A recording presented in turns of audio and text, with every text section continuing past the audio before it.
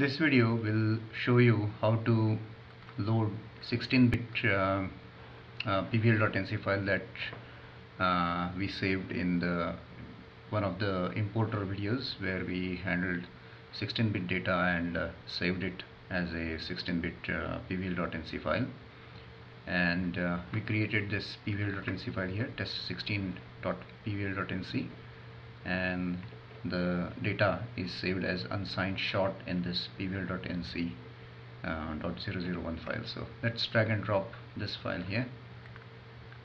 So I'm dragging and dropping, dropping the pvl.nc file test16.pvl.nc so this is the data and this is the histogram. Now because the data is 16 bit we are restricted to using only one dimensional transfer functions and uh, we are given access to the histogram of the data. So this is the histogram.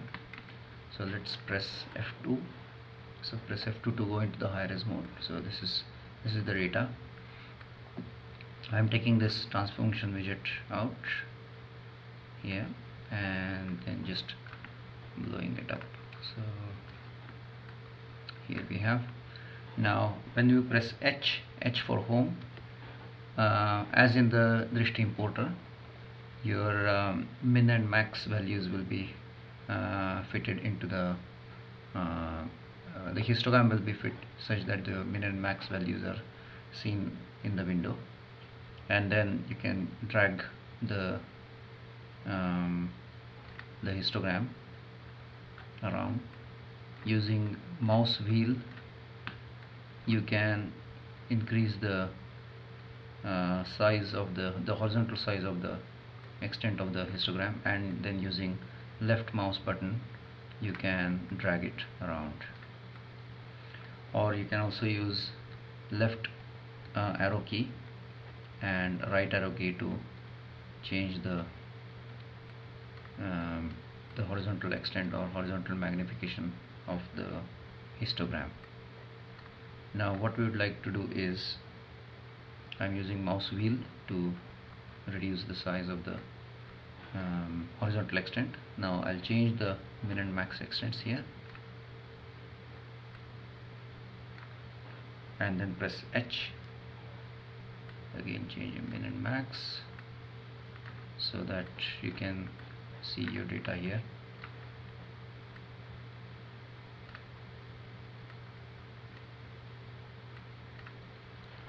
using your left mouse button you can drag around this uh, widget here.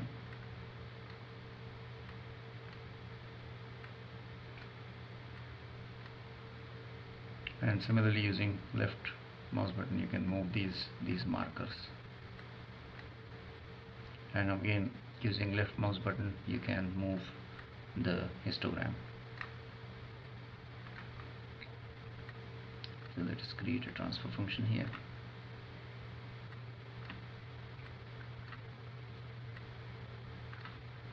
Another one.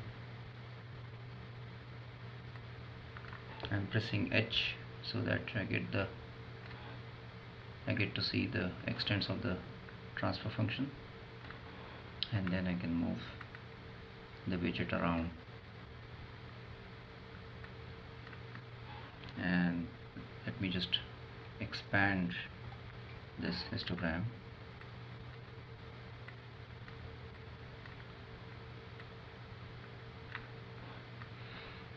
Now because uh, we are using one-dimensional transfer functions uh, I'm not using any gradient information um, uh, in the in the transfer function. So uh, this is purely voxel value based uh, rendering that we are doing here. So we lose the advantage of uh, using the multi-dimensional transformation when we load 16-bit volumes. Um, it's just that um, the way transfer functions are implemented in Drishti uh, they are implemented using what is called as lookup table. So it's just a uh, two-dimensional texture that I load and then I use uh, volume uh, voxel uh, uh, value and uh, gradient magnitude at every voxel and then just look use those two values as a lookup into that two-dimensional texture to get the color and opacity. In the case of 16-bit uh, data set the the texture size would be very big. In case of 8-bit data set the texture size is 255 by 255 uh, on either side. But in case of 16-bit data uh, one dimension of that uh, lookup table texture would be 65535 so 64k on one side. And then the gradient magnitude if we fit the gradient magnitude as again say 16 bit then it would be a 64k by 64k texture uh, which would be really very big. Uh, another option is to reduce the uh, the number of um, say bits allocated to the gradient magnitude. So instead of allocating say 16 bit uh, um, for the gradient magnitude we can allocate say for example 8 bits. In that case the the texture size uh, texture size would be say 64k on one side that is the voxel value side or the horizontal uh, dimension of the of the texture and the vertical dimension which represents the gradient magnitude that would be 8 bit meaning it would be uh, say uh, 255 uh, on the horizontal axis. So um, the texture size would be 64k by 255 still it's a really large texture uh, for um, um, and that's just a single texture. And if we want to accommodate say for uh, mm, uh, 8 textures or 16 textures then the the amount of texture memory allocated just for the lookup table becomes very large. So at least in this version I have not uh, implemented the lookup table way of uh, rendering two-dimensional lookup table for rendering 16-bit uh, data sets but in future it's possible that I might revert I might use uh, some other technique for um, uh, rendering 16-bit data I mean um, rendering I mean using the transfer functions for the 16-bit data maybe a Gaussian or something. But at least in this version it is um, we are restricted to uh, using only uh, one-dimensional uh, transfer functions for 16-bit data. In case of 8-bit uh, data still the 2D lookup table is is uh, can be used. So here we have now the different transfer functions. And using left mouse button I am moving the the transfer function. And then using left arrow key or you can use wheel to change the size of the horizontal extent of the of the transfer function. Of the histogram sorry. So this is how we would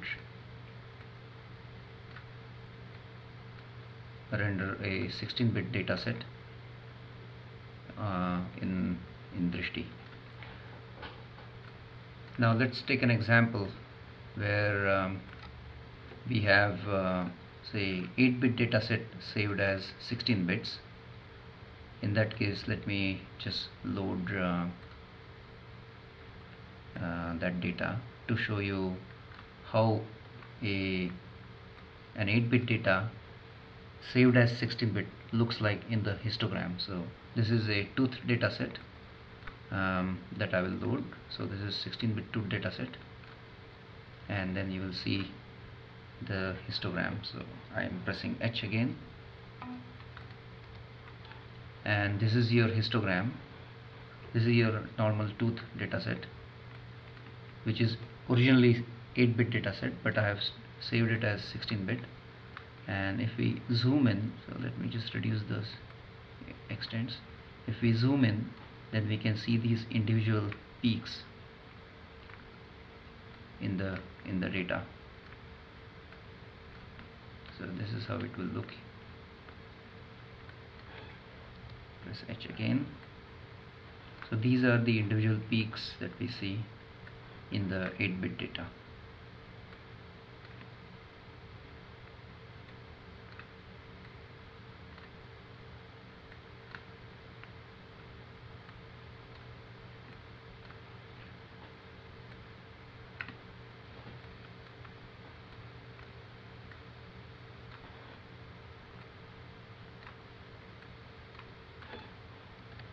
press F2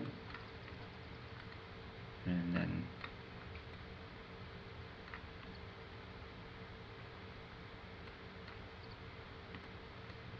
I'm using mouse wheel to change the horizontal extent. But if you don't have mouse wheel you can use uh, left and right arrow keys on the keyboard. So now we can see these individual values individual um, yeah individual voxel values in the in the data. And because the original data is 8 bit we see these gaps uh, in the voxel values uh, in the histogram of the voxel values. And now if we load say 8 bit data for the tooth you will see the difference in the in the histogram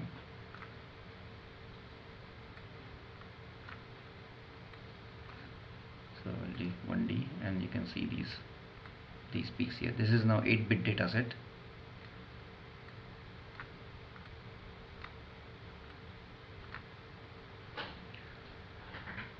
So this is the way you can handle 16-bit data in in Drishti.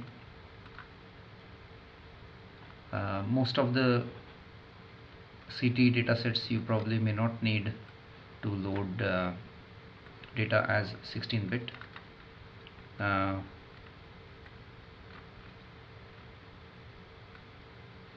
because it is easy to manipulate or uh, easy to remap your um, data from say 16 or 32 bit to 8 bit and still maintain uh, the contrast that you need especially because you are looking at a big range of values uh, as a single phase.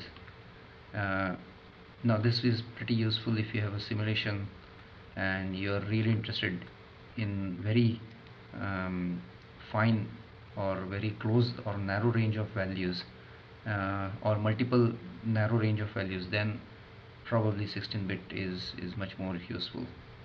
Otherwise 8 bit is mostly um, uh, it would do the work for you